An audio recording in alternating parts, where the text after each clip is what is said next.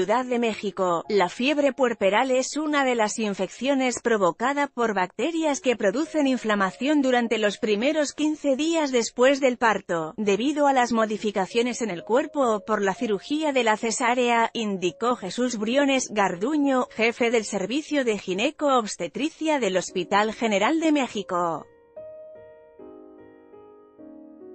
También puedes leer, el método que controla niveles de glucosa por el aliento informó que esta infección se presenta en alrededor del 12% de las mujeres que tuvieron un parto, la cual es provocada por bacterias como estreptococos y estafilococos, hongos o virus que infectan el útero, la vagina y los riñones.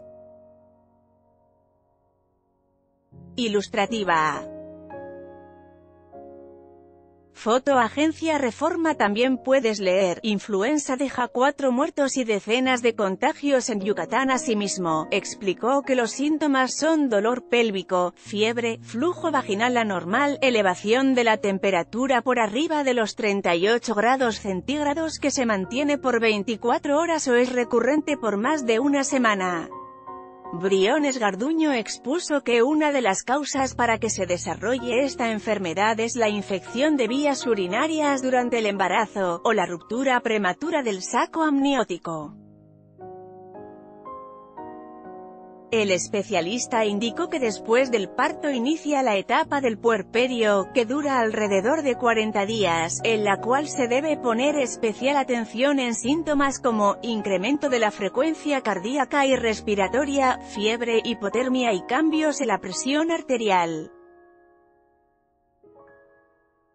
El jefe del servicio de gineco-obstetricia destacó que este periodo se divide en tres etapas, el puerperio inmediato, que implica las primeras 24 horas después del nacimiento del bebé.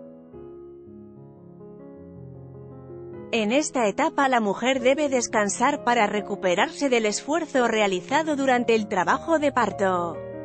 Ilustrativa Foto Agencia Reforma El puerperio inmediato transcurre desde los 7 a 10 días después del parto, con cambios físicos como la expulsión de coágulos después del parto y la producción de la leche materna. Detalló que el puerperio tardío abarca desde la sexta semana y hasta el día 45 después del nacimiento del bebé. Es un periodo de adaptación, de cambios físicos y emocionales en la mujer. Aseguró que se debe llevar un control prenatal adecuado, cuando las infecciones se tratan tempranamente se pueden evitar enfermedades.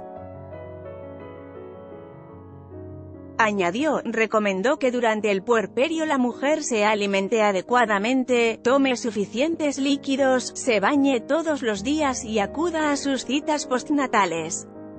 En esta nota, salud bacteria fiebre puerperal parto.